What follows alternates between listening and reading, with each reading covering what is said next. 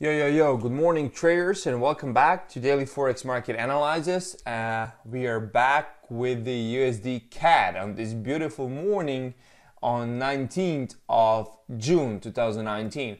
As you can see from our from this past week, so Monday, Tuesday, today's Wednesday, we've been eyeing up this USD CAD bad pattern, and I did not get engaged because of the time being, because it's out of my trading time and uh, if you go look, this is 5 p.m. Uh, start of a candle, so it closes around 10 p.m. and that's when I uh, then I would have got, got triggered. But currently, how uh, the way it's looking, I believe it will drop down a little bit more to fill you for your target if you took this for 51 pip and hopefully then for the 97 pips for targets too as well.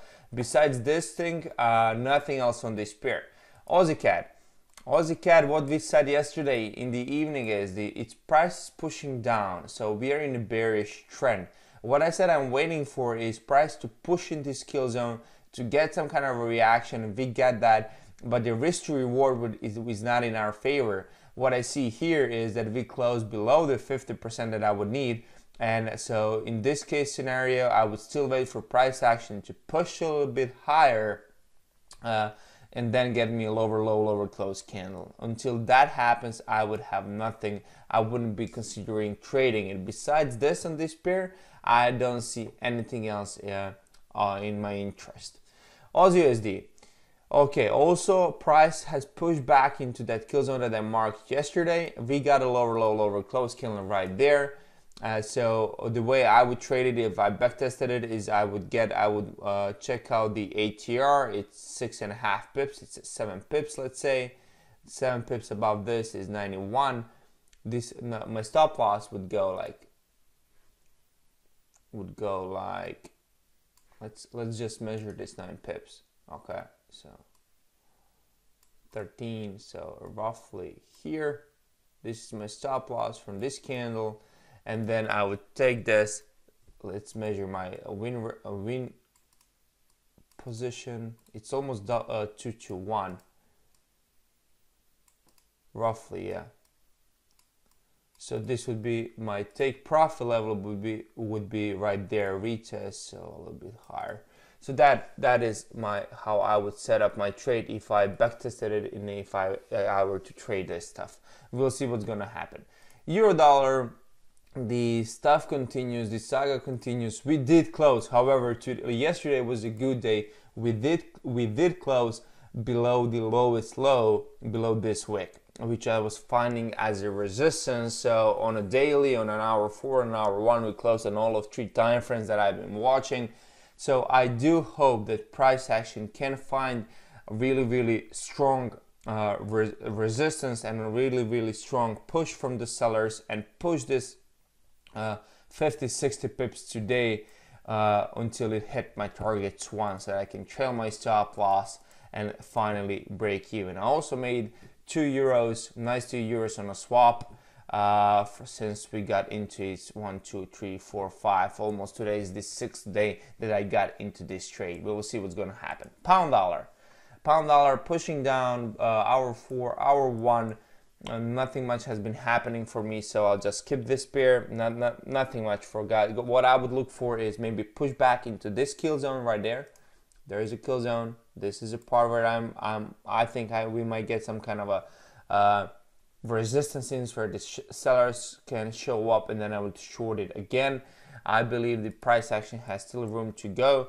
until this level because if you go on a daily this is the lowest close of this of this right support on this left of this swing in the market. And then I believe the price action has still room to go down. Uh, pound yen uh, since the flag pattern we had here uh, price action is just basically pushing up and uh, I don't see I just give me a sec have the opinion on something it did close. This would be my second, this would be the kill zone on this pair, this here. Because we did make a lower, lower, lower close or lower open. And uh, since that time, we pushed, uh, we pushed down. Be, the price action rolled over. Now it's pushing back up. If we, if you got a lower, lower, lower close here, if you backtest it, short it again. And with that being said, guys, this kind of sums up my morning session. If you like this kind of a content, please consider subscribing. Also on the screen right now, you, sh- you should see a link that says rit.money.bundle slash bundle, which is in a combination, a bundle of the ebook or a backtesting sheet and the video tutorials of the Kickstart strategies that helped me uh, change my trading to the better. And in the ebook, I shared everything I wish I knew when I was first starting out trading. So you can download the ebook. I'm looking forward to seeing in the community of in, in my Telegram channel. Uh, which you can get access from the ebook. Just click on a link, paste the link in the browser, type it in, and follow the instructions. And with that being said, look, looking forward to see you in a few seconds in the afternoon session. Thank you very much, and bye. Yo, yo, hi guys, and welcome back. I would say to the afternoon session, but that would be a lie. It's actually the other day. It's 20th of June 2019 in the morning. And because yesterday we did get some kind of an action, but I was not at home, I was not able to record a video. I stepped in this morning. It's a holiday here in Croatia, so nobody's working, and I have enough time to record a comprehensive video of everything we've been through yesterday and show you in this afternoon, so called afternoon session. But bear in mind, it's a day after the yesterday, okay? So here we are. Yesterday I was showing, or in the morning session, I was showing you this pattern on the USD CAD. It was I created a stall at this level right there, pushed up a little bit, and then rolled over. And yesterday, after we got the FOMC statement, it kind of closed you out for both of your positions 52 pips for targets one, and then another 95, 98, almost 100 pips for targets two, which is awesome. So you would be able, if you took this uh, idea and took a trade off of it, and if you backtested it, you would be up 150 pips, which is awesome.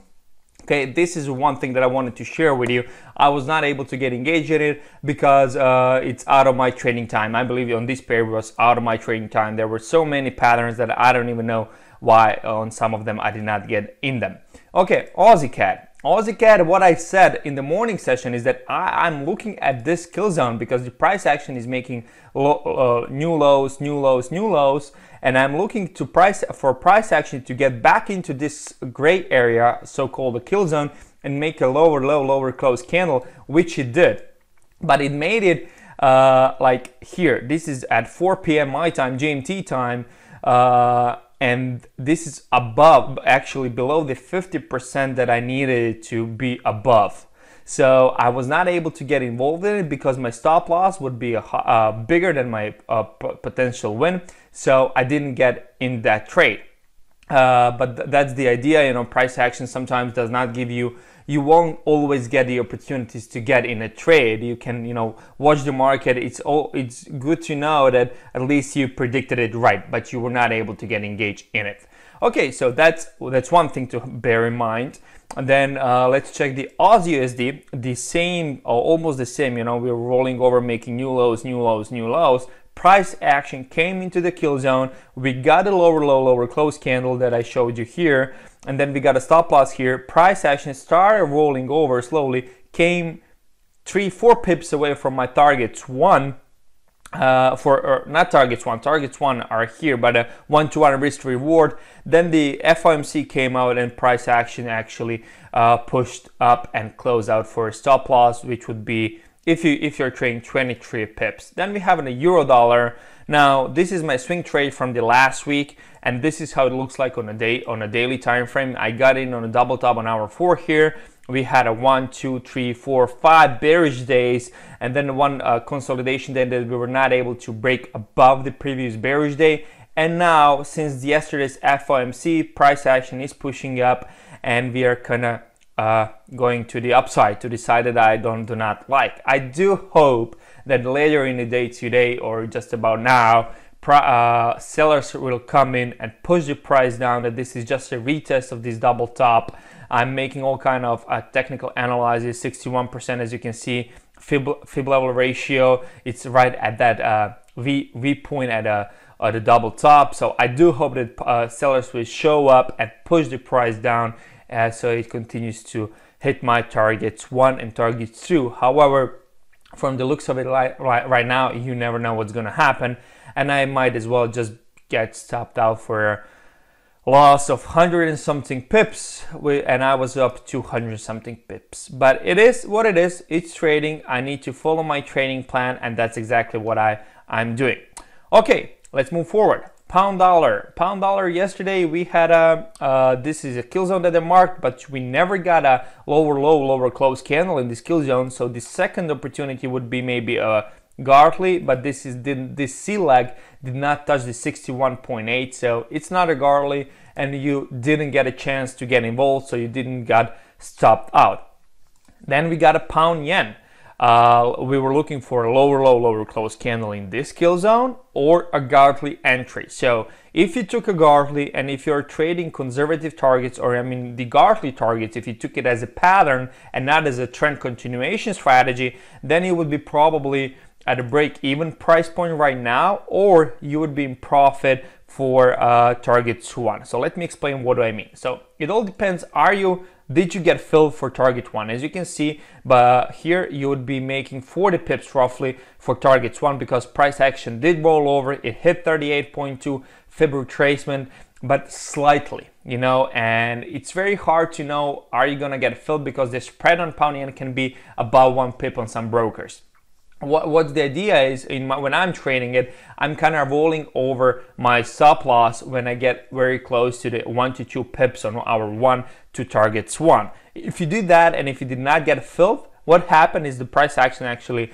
uh, rallied up and closed you out for a break even position. You know it depends how you're trading it but this is just my idea. Anyway it was a good trade if you've been following your plan. However if you're looking this from the trend perspective you're waiting for a lower low lower close candle in this gray area in the kill zone you actually got a lower low lower close here at 6 p.m gmt time yesterday you would be sure right now your stop loss would be atr of this candle which is 22 pips above this high which would be around here okay and you, you're still in a trade. You're slightly suffering the drawdown of 15 pips and you're up in, in total for 35 pips, but you're still in a trade and you're aiming for a retest of these lows right there. I don't know what you're, how you're trading. I just, uh, because I'm not trading this uh, yet because I didn't backtest it, but if you did, did any of these things, its most important thing is to follow your trading plan and do what it tells you to do. And with that being said, kind of guys, I, I think I summed it all up in one this so-called afternoon slash morning session. If you like this kind of analysis and this kind of a content, I do this almost on a daily basis, as you can see, and I upload videos when we get some kind of an action. So if you like this kind of stuff, please consider subscribing. Also make sure to click that like button, smash the bell button, leave a comment below, Tell me what you think about this analysis, share a video, and let's spread the word so that as many people as possible can see this kind of a content and see the correct approach to Forex trading. Thank you very much for staying until the end of this video and speak to you soon.